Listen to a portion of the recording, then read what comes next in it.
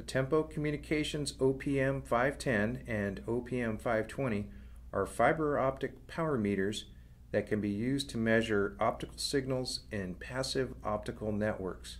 The OPM 510 has an input signal measurement range of plus 10 to minus 65 dBm, and the OPM 520 is used to measure optical signals in the range of plus 27 to minus 50 dBm, typically found in broadband cable TV networks.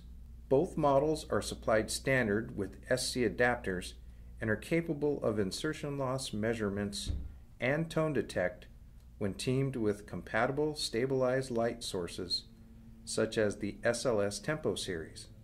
Optional LC, FC, and ST adapters are available. The zeroing feature will zero out any ambient light present, thus enhancing the accuracy of measurements.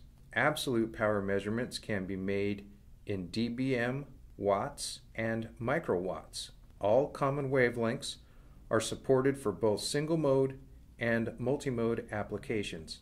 The OPM 510 and OPM 520 are available in many single mode and multi-mode kit configurations for both telco and MSO applications.